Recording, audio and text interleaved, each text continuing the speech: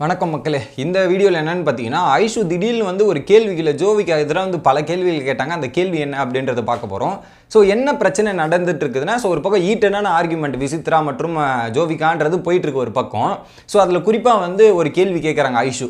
So உங்கள் படிப்பை பற்றி நீங்கள் இந்த மாதிரி படிப்பை பற்றி என்னோட பர்சனல் லைஃப்பை பற்றி பேசாதீங்கன்றதை நீங்கள் விசித்ரா கிட்டே சொல்லியிருந்தீங்களா? அதை பற்றி சொல்லியிருந்தீங்களா அப்படின்ற மாதிரி ஒரு கேள்வி வைக்கிறாங்க. ஸோ அப்படி சொல்லி நீங்கள் விசித்ரா வந்து பேசியிருந்தாங்கன்னா விசித்ரா மேலே மிகப்பெரிய தவறு இருக்குது ஒருவேளை நீங்கள் சொல்லலை இதெல்லாம் பேசக்கூடாதுன்னு நீங்கள் சொல்லி சொல்லாமல் அவங்க வந்து பேசியிருந்தாங்கன்னா உங்கள் மேலே தான் தப்பு இருக்குது அப்படின்ற மாதிரி ஐஷுவோட பாயிண்ட்டாக இருக்குது ஸோ இந்த இடத்துல பார்த்தீங்கன்னா ஜோவிக்கு அன்னைக்கு பேசும்போது கூட இதை இந்த டாபிக் பற்றி பேசாதீங்க அப்படின்ற மாதிரி ஜோவிக்கு அன்னைக்கே ஒரு கிளாரிட்டி கொடுத்துருப்பாங்க.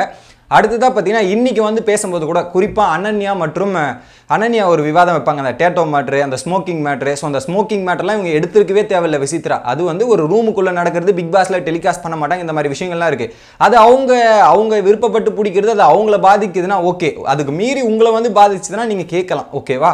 ஸோ அதை எடுத்துகிட்டு வந்து இங்கே வெளியே பேசுறது அதுக்கப்புறம் அந்த அந்த பேண்ட்டெல்லாம் கீழே இறக்கி பார்த்தது அப்படின்ற மாதிரி சில விஷயங்கள்லாம் நடந்திருக்குல்ல. ஸோ இதெல்லாம் வந்து அது ஒரு அவங்களோட பர்சனல் திங்ஸ் தான். ஸோ இதை பற்றி பேசிகிட்டு இருக்கும்போதே ஜோவிகா ஒரு விஷயத்தை சொல்லிடுவாங்க ஓப்பனாக பேசும்போதே சொல்லிடுவாங்க ஜோவிகா.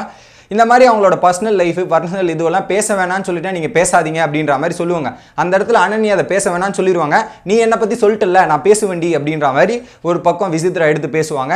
அதுக்கப்புறம் ஜோவிகாவும் அந்த இடத்துல பாயிண்ட்டை பேச வேணாம் அப்படின்றத சொல்லிடுவாங்க அப்படின்றத ஐஷுக்கு கிளாரிட்டி பண்ணுறாங்க நான் சொல்லிட்டேன் அதையும் மீறி இவங்க பேசியிருக்காங்க அப்படின்ற மாதிரி சொன்னோன்னே அப்போனா இவங்க பண்ணது தப்பு. விசித்ரா இப்படிலாம் பேசியிருக்கூடாது இதெல்லாம் பண்ணது தப்பு அப்படின்ற மாதிரி ஓப்பனாக அந்த இடத்துலையும் சொல்லிடுறாங்க.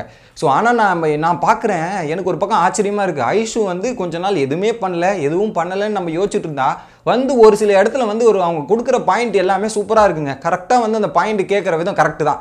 யோசிச்சு பாருங்க. அதை வந்து நீங்கள் அதை சொல்லாமல் இருந்ததுன்னு வச்சுக்கேன் வேற மாதிரி மாறி இருக்கலாம். பட் அந்த இடத்துல ஐஷு வந்து கரெக்டாக அந்த இடத்துல இந்த பாயிண்ட்டை புரிய வச்சுட்டு எல்லாரும் கை தட்டுறாங்க. ஐஷு பேசின விஷயத்துக்கும் கை தட்டுறாங்க எல்லாமே இது பண்ணுறாங்க ஏன்னா இது ஒரு பிக் பாஸ் வீடு. இதில் வந்து பல பேர் பல கருத்து தெரிவிப்பான் ஒப்பீனியன் சொல்லுவான் எல்லாத்தையுமே சொல்லுவான். இதெல்லாம் கேட்க வேண்டிய இடத்துல தான் நம்ம இருக்கோம். அதெல்லாம் மீறி எப்படி கேம் விளையாடுறோன்றது தான் இந்த கேம் அப்படின்ற மாதிரி ஐஷு அந்த கேமை பற்றியும் இதை பற்றியும் பேசுகிறாங்க பா உன்னங்கிட்ட ஐஷு வந்து ஷார்ட்டாக வந்து பேசினாலும் ஒரு நிமிஷம் ரெண்டு நிமிஷம் பேசினாலும் அதில் கொடுக்க வேண்டிய என்ன பாயிண்ட்டை பேசணுமோ எப்படி கரெக்டாக புரிய வைக்கணுமோன்றதில் கரெக்டாக புரிய வச்சுட்டு வேறு மாதிரியே ஒரு விஷயமா பண்ணுறாங்க ஐசு ஸோ ஓப்பன் அப் ஆகிட்டு கொஞ்சம் கொஞ்சமாக வந்துகிட்டே இருக்காங்க. ஐசு ஃபார்முக்கு வந்துட்டால் வேறு மாதிரி பிக் பாஸ் இருக்க போகுதுன்னு நான் நினைக்கிறேன். ஏன்னா அவங்க பேசுகிற பாயிண்ட் எல்லாமே சரியான வேலிடி பாயிண்ட்டும் கரெக்டாக இருக்குது இது ஒரு பக்கம்.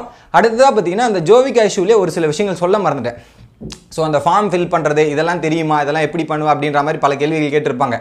ஸோ ஜோவிகாவோட கருத்து சிம்பிளுங்க. இதெல்லாம் தெரிலனா போய் கேட்டு தெரிஞ்சா என்ன? பேங்க்கில் போய் அந்த இது பண்ண தெரிலனா அங்கே அதுக்காக ஒரு ஆள் வச்சிருக்க போகிறான் இது எடுக்க தெரிலனா வேற யார்கிட்ட அது கேட்டால் சொல்லி தர போகிறாங்க ஸோ நமக்கு விருப்பப்பட்டு நமக்கு அது ஒரு ப்ராப்ளமாக இருக்கா? நமக்கு வரலன்னு தெரிஞ்ச பிறகு அதில் போய் படி படி படின்னு ஃபோர்ஸ் பண்ணுறதே தப்பு. அந்த மாதிரி பண்ணாதீங்க அப்படின்றதா சொன்னாங்க. ஸோ விசித்ரா வந்து என்ன சொல்லியிருந்தாங்க? ஸோ படிச்சிரு எப்படியாவது அப்படின்றதா சொல்லியிருந்தாங்க. அந்த மாதிரி ஃபோர்ஸே பண்ண வேணாம். எனக்கு எது வரும்ன்றது தெரிஞ்சு நான் அதை நோக்கி பண்ணுறேன் இதை வந்து ஃபோர்ஸ் பண்ணி இந்த மாதிரி நம்மளை சாவடிச்சுக்கிட்டு படிக்கணுன்றதான் இந்த படிப்பே தேவையில்லை அப்படின்றது தான் ஜோவிகாவோட கருத்தாக இருந்தது.